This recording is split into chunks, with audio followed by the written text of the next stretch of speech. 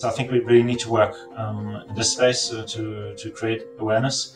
Um, guidelines uh, is a problem. Um, I, th- I, think definitely, and, and, it makes it a little hard sometimes to actually justify treatment uh, as well, right? Because your gut feeling will tell you, okay, I think this uh, this patient will do well um, uh, with treatment, uh, with intervention treatment. Um, but then we we don't really have the, the, guidelines to actually support that. And I think it will also make it a lot easier for referring physicians if uh, the appropriate or, or, let's say better guidelines in terms of treatment for, for DVT.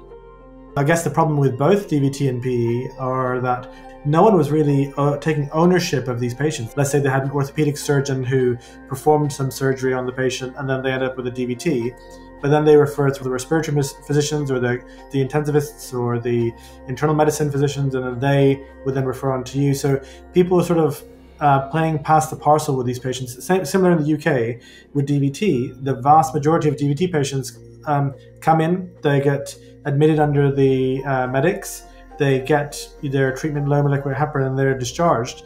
And then we're finding later on in life that they're getting, you know, chronic uh, venous ulcers, they have PTS. 90% are not working in within the first 10 years is, is mad. You know, and many of these uh, patients are really young. Now that we have these tools available to us that I can actually do wall-to-wall thrombectomy, we can extract the clot. We know that we're stenting less, we're um, removing chronic clot more. Um, you know, patients are, are, are having less rethrombotic events, um, both in the PE and the DVT sphere.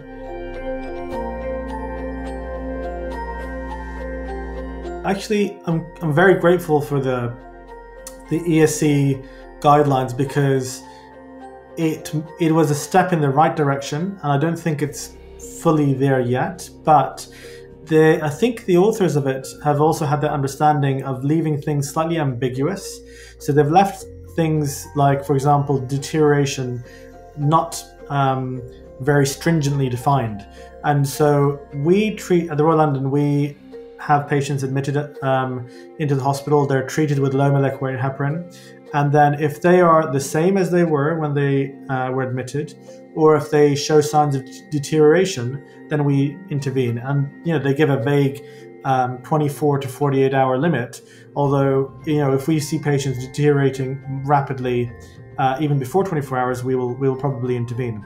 Now deterioration, we there's so much new literature out there that shows signs that you can look out for in terms of what uh, would be critical in a patient in terms of their mortality or morbidity. And we know like RV-LV ratio is a good indicator. You know, if it's getting worse, you, lactate we take into consideration heavily.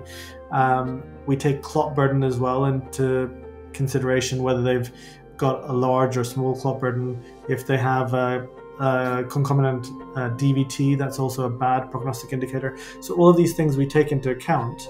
Um, and we put that in, we take all this data, we discuss it within our PE response team, and that gives us a, a sort of supplementary decision making to the guidance on when we should intervene and how we should intervene and whether we should or shouldn't intervene.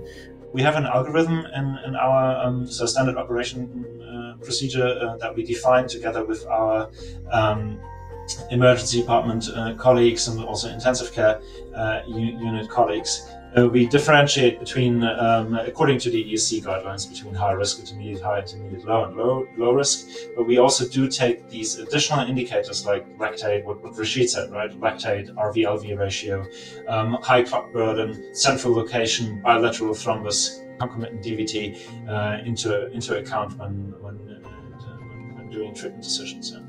And I also think it just in general, the, the, general patient status, if you go to the ICU and the patient is sitting upright and is, is tachy and, uh, you know, okay, this guy isn't doing well. Um, and uh, yeah, just go and see the patient, right? I think that's like super important.